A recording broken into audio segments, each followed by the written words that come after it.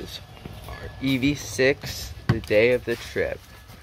Packing our stuff. It's not the largest trunk in the world, but we are fitting a lot of items. There's gonna be four people. I'm gonna sit in the middle so that way I can see stuff, but it's pretty well. We removed all our charging equipment from the under compartment and completely removed the under compartment to fit more items. So everything, including the tire repair kit, the inverter, and a 100 foot extension cord is all we all put in our frunk. So let's see. Boom.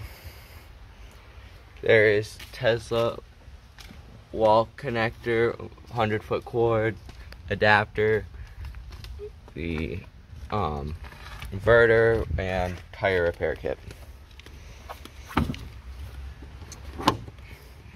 Wow. And I even just sort of washed the car the day before the trip.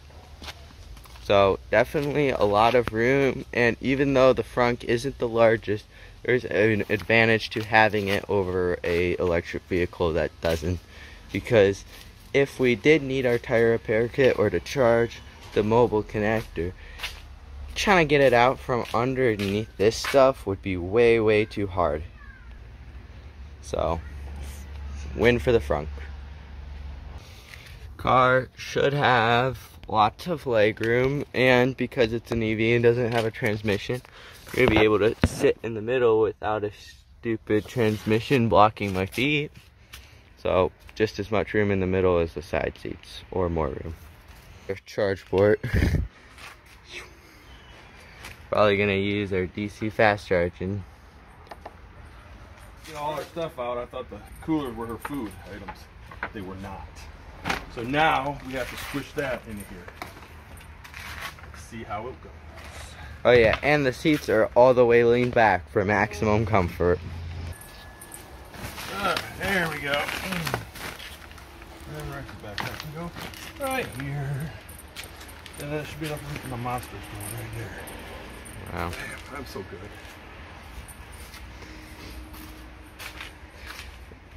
Definitely not as much room as a Model Y. Model Y has the bigger frunk. And we're on our trip. We have the uh, adaptive cruise control on. Is the adaptive cruise control able to take this curve? I would hope so, considering it's meant for uh, highway driving. So, if it doesn't, we have a serious problem that we need to address. Oh, seems this is working. And now to my right, I have my, uh, or I have the 3D printer printing right next to me. Uh, only burnt me once. It didn't burn you. You felt a little warm. Definitely burnt me. And trying to edit a video, but camera is having sound problems. So, and we are charging, or we are heading to the further charger. It is the slower one, but will be lower down in our battery. So, only about eight minutes slower than if we went to the faster one. But we will have less range anxiety, I guess, if Yes. it's closer to our location. And then I have my brother there who's annoying, but That's not very nice. I like him more than the 3D printer, so. Printy McPrint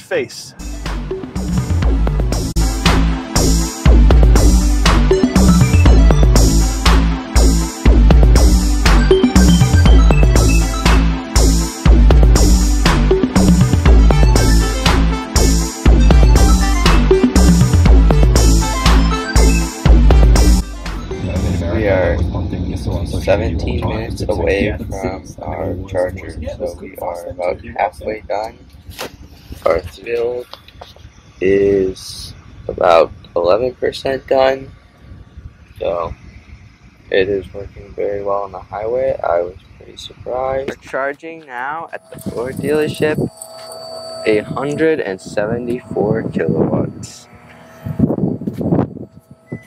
So we can walk around now. Pretty big stations. And my dad really apparently did not like driving around this place because he saw the level two and he's like, we're out of here. I didn't say we were out of here. I just said we may need to be out of here. Yeah. I'll put Pretty McPrint face in the back. We've been here only eight minutes and it's added 20 kilowatts of power, which is really fast. So we are have way more than enough we need to get there, so that's cool. But also the interesting thing was we plugged it in and it just started charging, so will not charge us money, which is a good thing. So free, yay. Hey everyone, we are technically done charging, but we're just enjoying ourselves by this Ford dealership, drinking some Mountain Dew and Monster. I saw some Mavericks in there. I walked out of the building, we finished charging basically, but now we're just topping off any extra as we can. Is a Lariat version, so you can tell it's very, very nice looking light bar and grill. It says Lariat. Uh, wheels, I couldn't really tell that's an EV wheel. It looks like a regular one.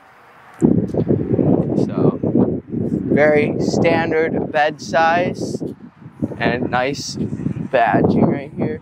So, if you want to spot a lightning in the wild, you mostly have to look for the light bar and the fancy lights or the front.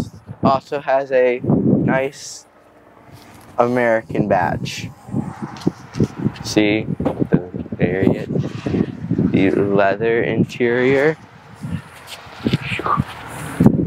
And you can fold that down so you have a complete workspace. I'm not really sure how to do that. And then you fold, you can fold this thing down and you can eat or just get work done. Nice screen like the Mustang Mach-E. So very nice. We just left the Ford dealership at 99% state of charge. We charged that high mostly because we were just having fun looking at the F-150 Lightning and lost track of time. And we knew it was going to annoy Cass, so that's always a bonus. Or what? It was going to annoy Cass. So. Yeah. It says we have a 313 mile range and 81 miles to go. Let's see how accurate that trigonometer or the guesser is.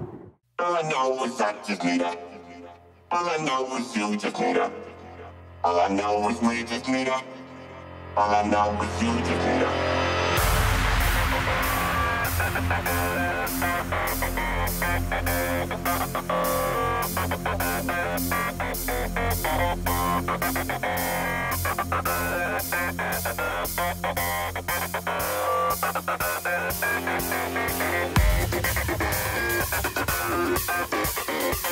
All I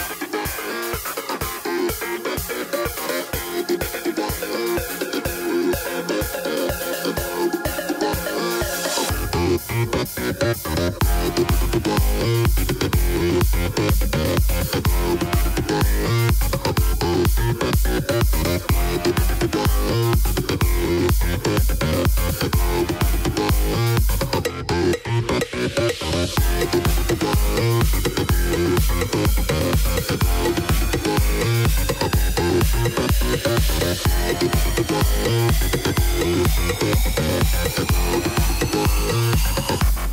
In the next couple of clips, you'll see that we are lower battery percentage than 70, which is what we got to our hotel with.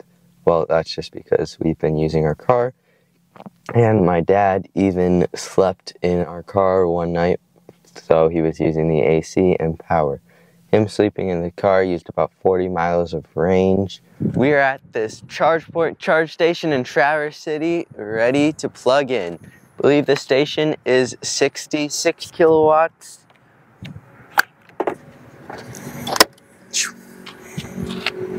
Will it charge immediately or make us pay? It's a 62 kilowatt power DC. Looks like we might have to pay. We are charging at the ChargePoint station and advertises 62 kilowatts. I looked on the screen, but we're only getting 56. I don't think it's due to throttle. So it comes with a level two station next to it, which you have to pay for. So I'm not sure how I feel about that, but at least ChargePoint will stay operable if they are making profit. Uh, because we cannot have free level twos forever. Should upgrade it to 11 kilowatts. It's only 6.4. All right. So, much to Blade's chagrin, I think it's a pretty safe place. We are right by Blain's Farm and Fleet. Feel free to reach out for us for sponsorship information. no, it's all good. We are we are near Chums Corners in Traverse City, or just outside of Traverse City, near Interlochen, Michigan. Uh, and I'm, I'm pleasantly surprised. I thought we were going to come up here, and I thought it was going to be really hard to find a place to charge. And while it's not a 150 or a 300 watt or kilowatt hour uh, fast charger, uh, 60 is, is pretty good for me where I'm looking at. And like Blade said, we have the level two next door. This is good. Kia's charging up right away. Nice day out. It's fun. I'm having fun hanging out here with the Kia and hanging out with my kids, uh, charging the car. Yep. And the charger gets bonus points if there is circus peanuts inside that store. Yeah, I think we're too late at night for that. I think it's too late. Ah. If we wouldn't have stopped by the cabin, we probably would have been able to do it. But sorry, Blade. We'll have to find circus peanuts at another spot. We arrived in Traverse City with 70% to my surprise because we stopped and charged all the way to 99%. When we were at the charger, we arrived with 53%, which means in total we used about 80% to get from our house to Traverse City. Now that's a lot less than what a better route planner predicted, that we could probably get there on one full charge with 3% left, which means they had us using 97%, but it only took us 80% to get there from the uh, our house to Traverse City. We stopped once at a Ford dealership. We stopped way too long, but we had fun. We got to check out the F-150 Lightning. So um, we do have a level two charger at a hotel couple, uh, or hotel three down or something, but we're not charging there. My dad has honor, so he's not gonna use it because it says it's for guests only. Guess only, Blade. Guess only. Guess only. Yeah. So. No, I, I think it all boils down to I drove more efficiently because I am an efficient driver. So, Yeah. you know, they, they must expect everybody to be driving their Teslas all the way up, um, super fast, gunning it the whole time. And Mhm. while I was a conservative driver in our Kia EV6. Blade. We're Blade looking and eyeing the circus peanuts. We suspect they're right on the other side of the closed doors. Yep. But unfortunately, It is closed. at- unfortunately, closed at 6 p.m. on Sunday. and so, it is 9 p.m. now.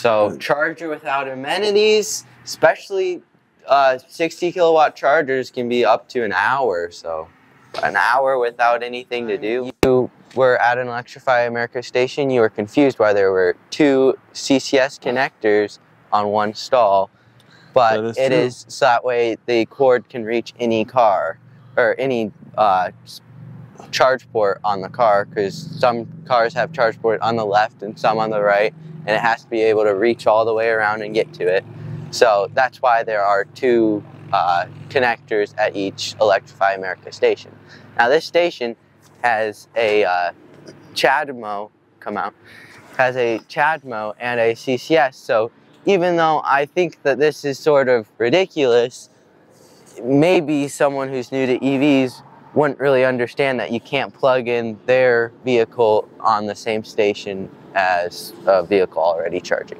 Hey, I, I have to admit, when I first did it, when I was an electric noob two weeks ago or two months ago, Yeah. um, yeah, I, I was very confused by the multiple cords. So even though I really was making fun of this, I think that it's good they have it. Yeah, I think it's very good. And um, something that I'm also sort of wondering is where is the uh, actual charger part of this? If there are onboard chargers in back to here. Now that I'm feeling it, I think there is. This looks like one cabinet. I think it could do 60 kilowatts. But from the front, it was hard to tell because I'm used to there being the uh, large fenced off cabinets with the chargers. Yeah. So we that's were wondering if they were run online, but I can feel some of that heat. So basically what they have is a whole bunch of on, so our car has an 11 kilowatt onboard charger. Well, they just have a whole bunch of what you would call an onboard charger just stacked up in a row, converts the AC to DC, and we've got a fast charger. Interesting.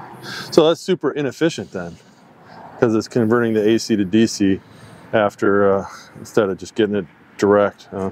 It's not like they have a DC power plant here, but We drove by like two solar farms. Yeah, those solar farms should install chargers, but this uh, hardware store doesn't have any solar panels. But uh, Tesla promised to put solar panels on the superchargers, but there's only a couple superchargers with solar panels. Yeah.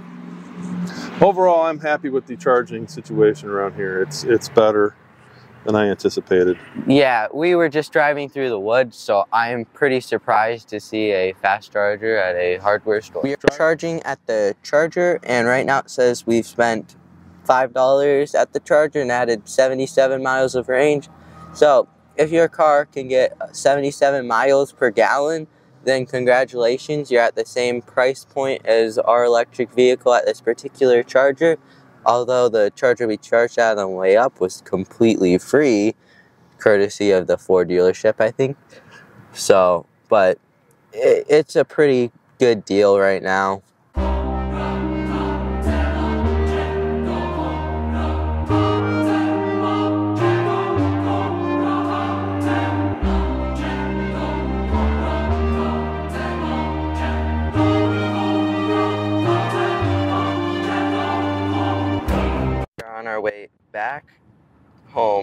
First we are going to stop once at the Meijer Bay Electrify America station. The reason we're stopping at Electrify America instead of the previous charger at the Ford dealership is because it's a lot further, it's a lot closer to home, so we'll be lower down in our battery pack.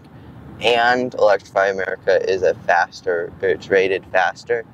So we'll be charging at a faster speed and lower down in our battery pack.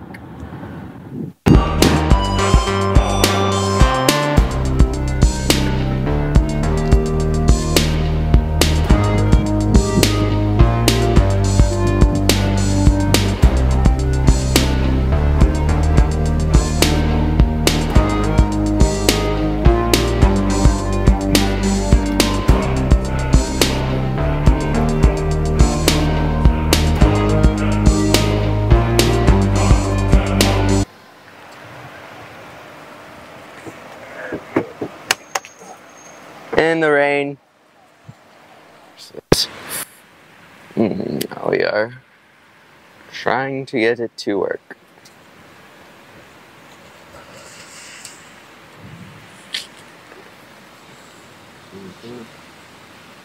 Processing payment should work.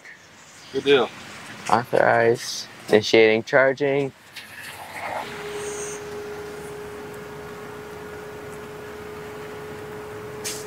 You're charging at 190 kilowatts.